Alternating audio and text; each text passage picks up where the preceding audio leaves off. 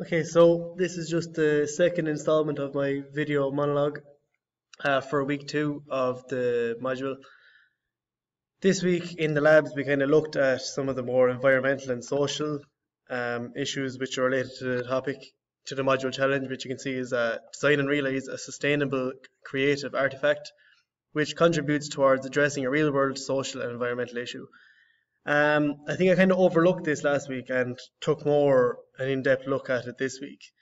So, kind of what does sustainable mean? First off, uh, it's the use of natural products and energy in a way that does not harm the environment.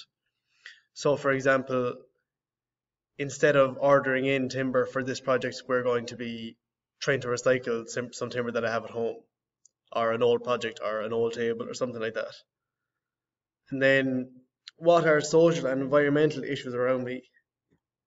Well, kind of environmental issues which we covered in the lab, which in our we kind of did it for our local areas, would be mainly you can't really see it, but it's down here, kind of where that light is shining. But deforestation, forestry is a big area around the Midlands where I'm from, so deforestation is tearing away at a lot of the countryside in Ireland, and this kind of links in then to construction studies which you can see as it's generating more classroom waste because we're generally what, what I found over placement was there was no real you never really thought about the waste. It was just get your your landboard cut out cut out whatever you need. If there's offcuts doesn't matter leave them in the box. We'll use them for kindling or something.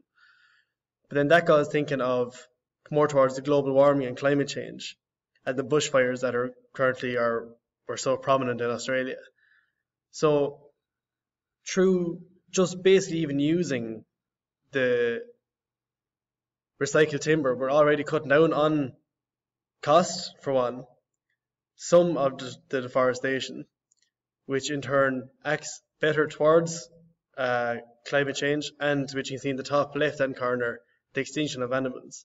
So a lot of habitats are destroyed through the deforestation process. So I think that by able to recycling, by being able to recycle some of the products in this in this challenge, we will cut down on the extinction of animal habitats, uh, deforestation, waste in the classroom, and help towards climate change on a very small scale, but it's still one step further than what we could have been.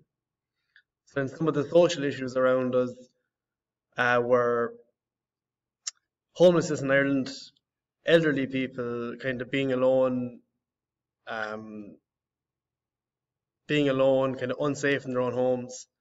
And then kind of we looked at the project that we completed last year, which would have a second function. So if this, whatever I make, has a function, it should refer to an issue in Ireland.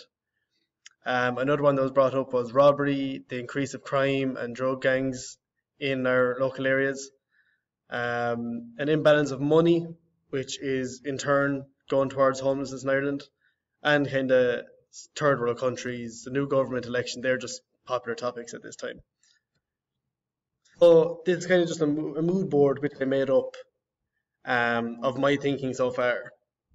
So if we start just in the bottom left hand corner, we can see the bushfires, uh, panda bears, elephants. These are all animals that are going extinct.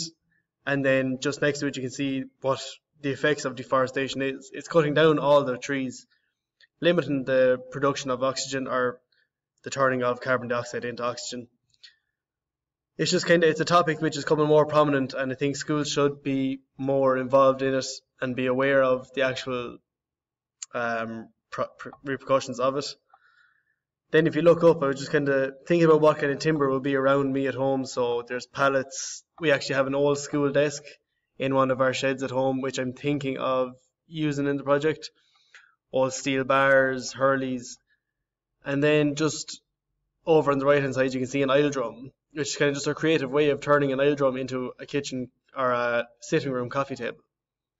And then you can see kind of just using old reclaimed timber, and I see epoxy resin made to look like a river in the middle of it. So kind of my thinking this week has been looking at that environmental issue, I was thinking more on the deforestation. I know it's such a broad topic, but it is prominent in my local area. And I was thinking of a way of incorporating this um, school desk, which I have sitting in a shed at home.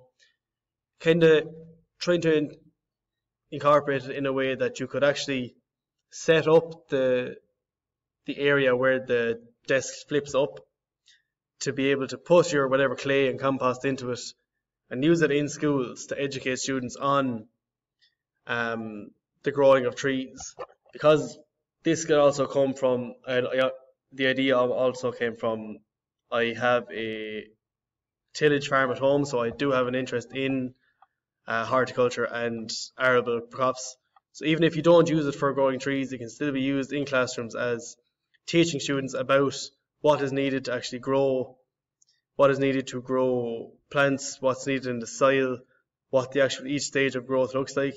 It's just another idea that I'm coming through with. Uh, it's kind of just where I'm at this week. So that's my monologue.